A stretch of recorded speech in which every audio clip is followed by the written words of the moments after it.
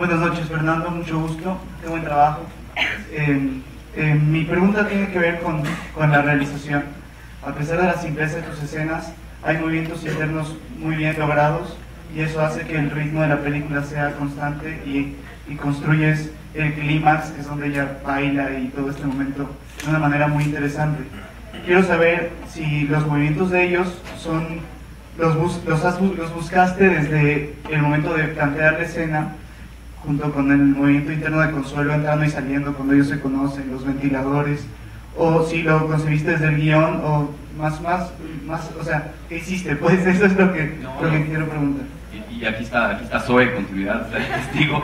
Era construir las, las escenas, nos tardamos años, es lentísimo, o sea, la producción en general se tira mucho material o se, se hace muchos setups, aquí era un setup al día, era como una, una filmación tortuga, porque era empezar a buscar, a buscar, y es como leíamos el guion, se movían, lo cambiábamos, a ver, ahora improvisen, ahora era bastante, bastante lento, pero era como de observar y observar. Pero sí hacíamos, por ejemplo, los, días previos, bueno, semanas, hacíamos un shooting, hacíamos plantillas, hacíamos, o sea, todo estaba como muy planeado. Llegamos y decíamos, ok, la cámara va aquí. Y ya que la con los actores, decíamos, no, no va aquí. Va acá".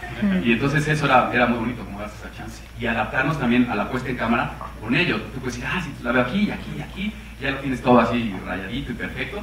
Y ya los ves y dices, no, pues no, no funciona así. Es que a lo mejor la corremos completa o cortamos en- en las escenas. Pero sí fue, parece muy sencillo, pero sí fue complicado.